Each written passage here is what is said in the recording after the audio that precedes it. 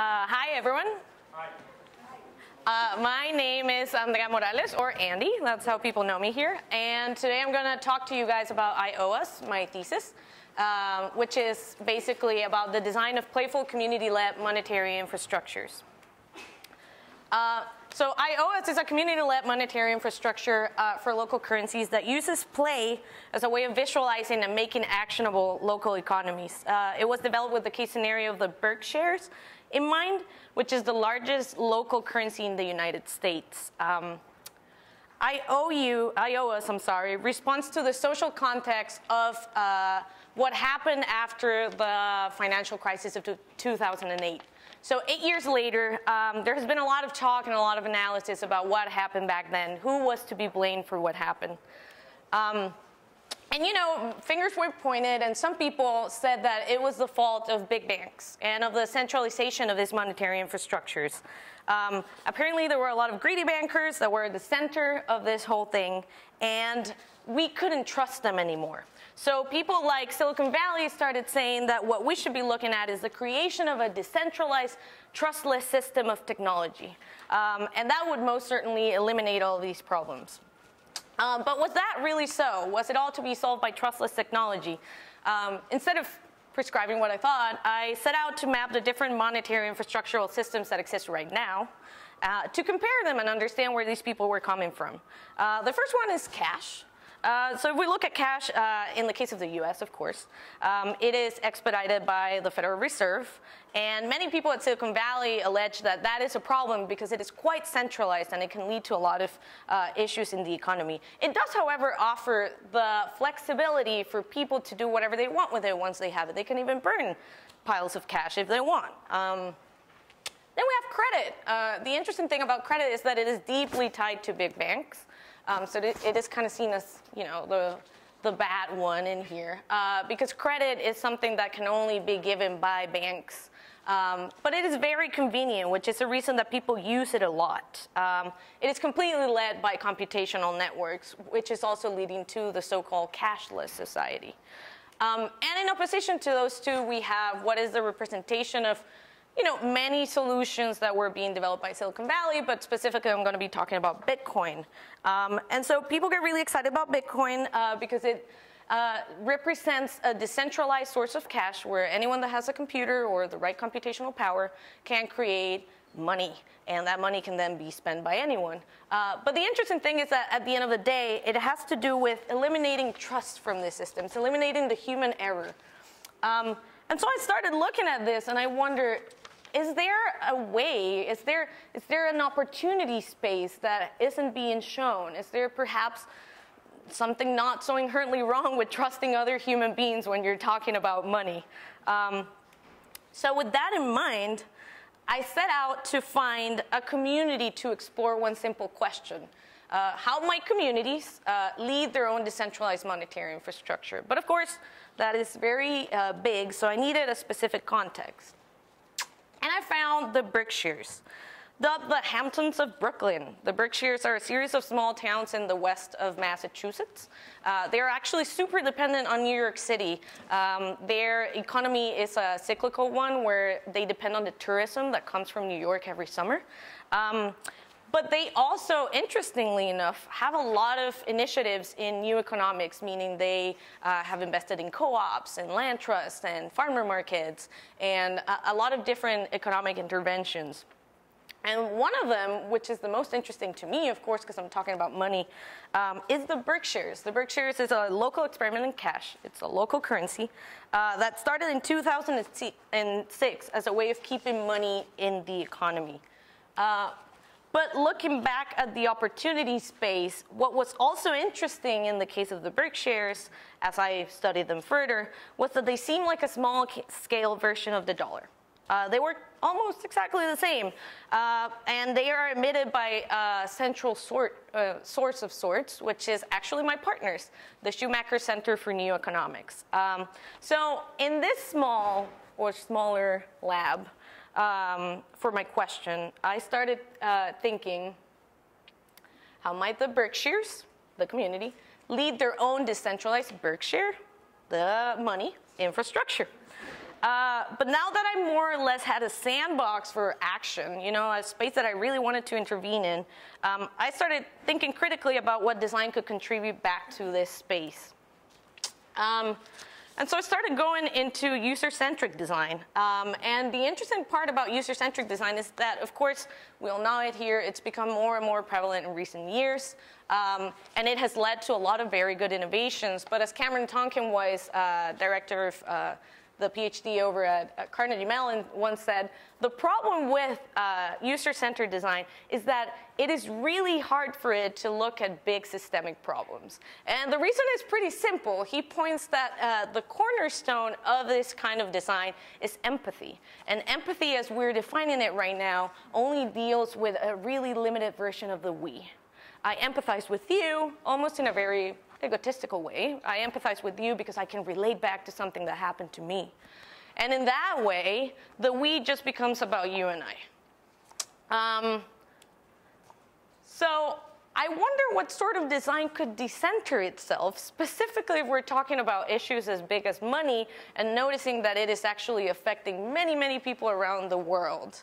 Um, according to Brian Upton, which is the author of a book I really like called The Aesthetic of Play, um, Play is precisely the definition of something that is not at all user centered. Uh, because it is an end unto itself, and it is the exploration of systems. Uh, something that people do because they see inherent value in it. There is no other reason to go into a play space. Um, so that led me to a question, and, and of course many here know that you know I'm a big advocate of play. So that led me to a question: How could play specifically enable a decentralized community-led BerkShare's infrastructure. And from this point of view, I'm coming at it from the point of view of the design of play, or what many people think is the design of games.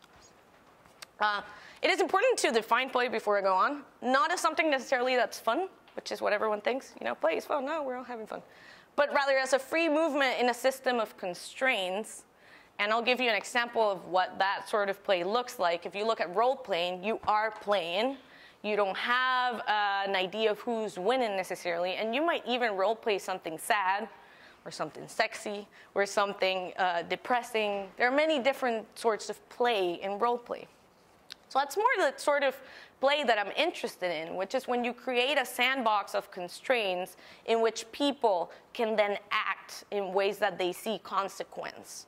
Um, but since people come to play out of their own will, out of their own agenda, it is hard to see the long-term effects that play has on the world. And this is one of the main critiques that is done, for example, uh, of gamification. Right? Is a game enough to change anything in the world when, to begin with, you're going into the game because you just want to play, right? Um, so there's kind of like this duality where games seem to be apart from reality. They have their own magic circle that people enter in certain ways. Um, but I wondered still if play was the way that I could decenter this and look at systems, then perhaps the way of starting about this is to just create an experiment. So I'm going to create a game. I'm going to create a game that's going to think about uh, these monetary problems, big systems, and see if people can start reflecting upon them, creating a sympathy and understanding of the system through a game that might later on relate to reality. But I wasn't sure quite how yet. Uh, so the first thing I did was actually a game. It is called the Seeing Game, um, and it was a game in which I explored uh, the system of credit card debt, since it was the system that most people are in touch with, and that is currently uh, the most prominent when Bitcoin people talk about the future of cashless, of Bitcoin versus credit. Um, and players would represent two sites, banks and debtors, and then reflect upon after they played and felt the anxiety of the game and the anxiety of owing a bank, um, although in a more abstract way. Uh, they would then have a dialogue with me and with each other about what they felt could be improved in this system, in this game. It was basically an abstraction. I was doing research. I wanted to see what gaps they saw in the system. Um, and the interesting thing was that uh, they told me that one of the big issues that they had was that visibility in a system where you owe a bank something and, the, and you can't see what the bank is going to do was actually the main issue. Right? And especially when they were exchanging with each other, they didn't quite know how money was flowing. They didn't quite know what money meant or exchanges meant at all. So they told me that what excited them about the game was that they felt like they were in control and had some sort of visibility of what was happening. Um, so in that way, I, I started looking at it more as in, you know, visibility is the first way of bridging the space between the magic reality of a game and the reality of our world as we know it. Uh, this was a hypothesis, right? I, I, wasn't quite sure, but I had a hunch. Um, so when I actually visited the Berkshires, I wanted to find out if that was the case. I wanted to find out if visibility was a big issue in this grander game of money that I was starting to create in my head. Um, to my surprise, when I went to the Berkshires, uh, the locals knew how the BerkShares worked, um, and they knew it completely. They could explain the system to me. Yeah, you go to the bank, you get BerkShares, and then you can pay for anything. Um, and when I asked them why they use them, they said, well, of course, it gives back to the community. Uh, but when I started poking and asking, how does it give back to the community, they didn't quite know how to respond to that. Um, and to make matters even worse or more interesting, um, they couldn't pinpoint the difference between dollars and BerkShares. To them, they were basically the same thing. So they had no inherent uh, reason to be a part of the BerkShare system because, yeah, it's good for the community. How often do you use it? Oh, almost never. It's the same thing as dollars. Um, so going back to the strength of games as paths of visibility into systems, I decided to first tackle uh, this, how can I create that union, by creating a visualization of how the BerkShares worked that would also differentiate the BerkShares from dollars in the hopes of leading to play, to play in the system of money of the BerkShares. Um, so my first prototype was that I created the BerkShare Till, which is a cash register unique to the BerkShares that would sit side by side with the dollar registers, but oppose it be different from what we know in dollars by being transparent, uh, by being filled with light that would light up as payments happen, emitting randomized sounds when those exchanges happen too, and sending information to an app tracking system where you could see how payments were happening in real time in the community. You know, I was thinking, of course, that visualization might lead to play. It might be an interesting way of going about this. Um,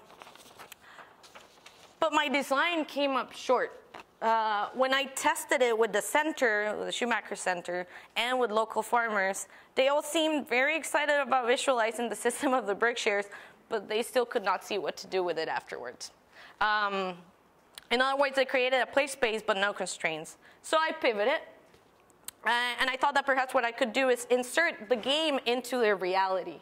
In order to do that, I created these tiny payment methods that were almost functioning as a credit card, uh, but they would still involve this idea of lights and sound and visualizing the system, except in this case, they would have rules, rules for budgeting, rules for exchanging with other people. Um, and they, they were quite interesting. People were really excited about them because they felt like they were making a change into what existed. Uh, but they said something that was really interesting and that led to where I am currently which is that they talked about a lack of connection to a bigger way of looking at the system. So the first thing that I actually wanted games to do, which was people to think about systems, they stopped doing it. Uh, it was as if there was something else needed to see the full system, something that I didn't quite know what it would be. Um, and while talking to them, they explained to me, yeah, what I really need is a space for not only being able to see change in money in my real life, but also to be able to change it in a bigger sense. Uh, so to go from one to the other through visibility. With that in mind, I created iOS, which is the system that I mentioned in the, in the beginning. Um, iOS uh, has three main parts that all respond to the different parts of what I talked about games so far, which is a token, which is the game inside your reality, a beacon, which is the way of visualizing how the bigger system works, and a communal activation session, uh, which is where we play the game that allows us to change the bigger system. So the token itself functions in many ways like the pyramids. Uh, the main difference is that the token now allows you to see in real time how your exchanges are affecting not only others, but yourself um, through lights. Then you have the beacon, which was quite the evolution from the cash register and became more of a signaling. Uh, um, a signaling machine of sorts uh, that would, through light and sound, allow you to connect to others, and also you could pay with your beacon on it, which meant that you could eventually give back uh, to the community uh, by individually connecting to the beacons. Okay, I'm almost done. Um, and so you can see the beacon working there. And finally, communal activation, which are sessions where people uh, can come together every time the tokens deactivate on purpose so that people have to, every month and every six months, get together to talk about how the system is working or not through a game.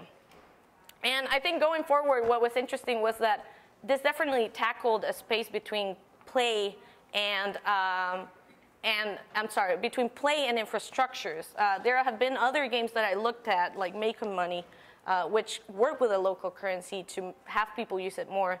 And what they said was they needed to reinforce infrastructure. One game wasn't enough.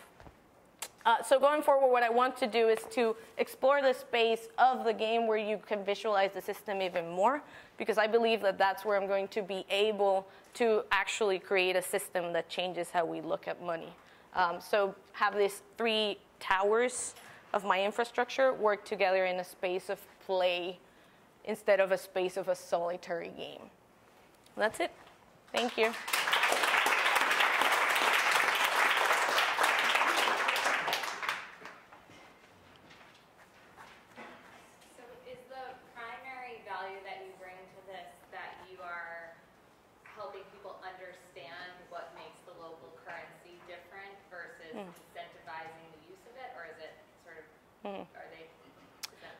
I think it, it, changes the way it is used to begin with. Um, if you look at credit cards and if you look at cash, uh, on the side of cash, what you have is a lack of uh, visualization. Yes, I can't understand it. But even if I could understand it, I can't change it because the scale is too big. On the side of credit, I can understand it. I have apps like Mint, etc but I can't change it either. So it's a, it's a kind of like a, a, problem of two things. The first one, understanding it, and the second one, being able to act upon it. Um, games can help you understand it, but you need to also embed play in other parts of a system so that it can reflect back on the game.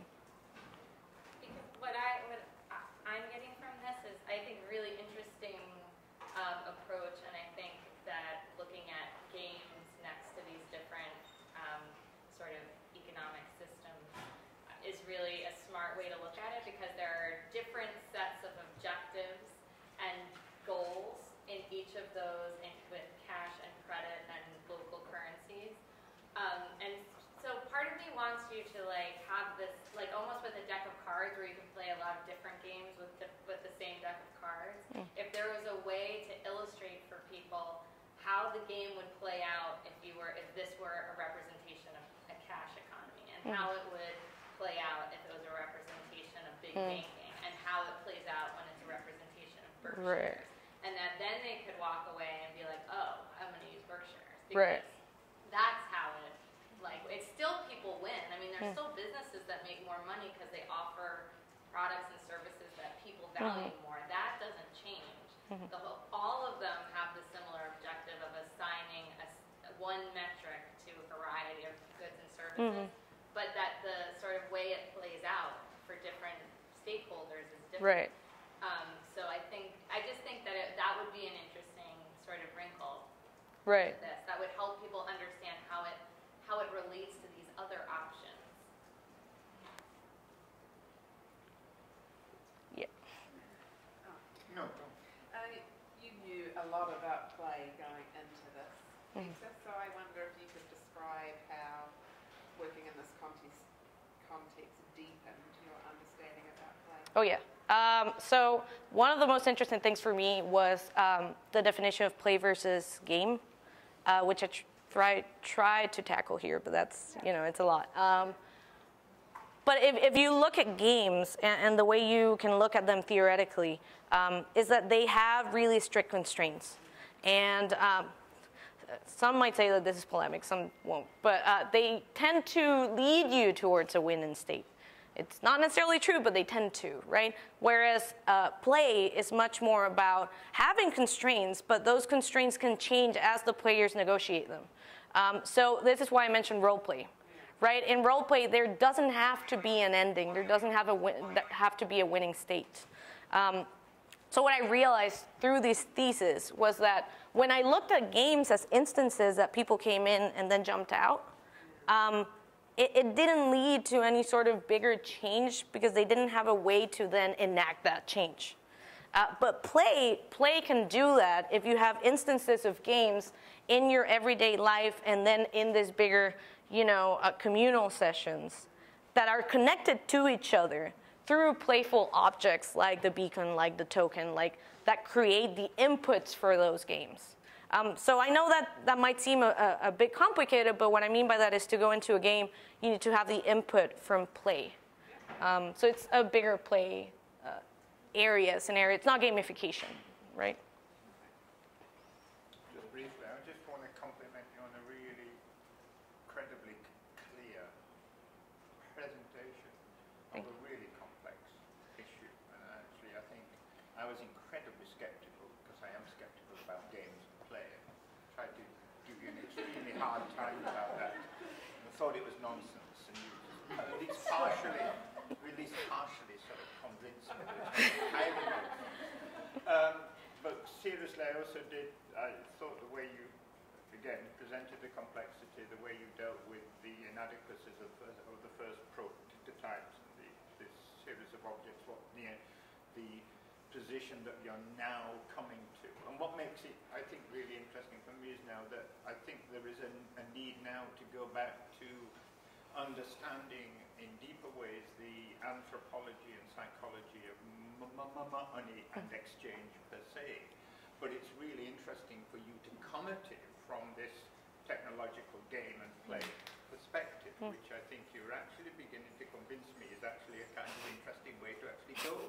So I Mhm. think actually to, to come back to the what you might call the, de- the sort of depth anthropology of money, and then to sort of begin to make the case for that fourth space which you Mm. identified, and uh, that's a considerable achievement to actually to create out of something which is so ubiquitous across human culture, money and exchange, to find a kind of new space there hmm. is actually very good indeed. And I just want to compliment you on that. Thank you. But you've done something actually. So. Thank you. Despite that.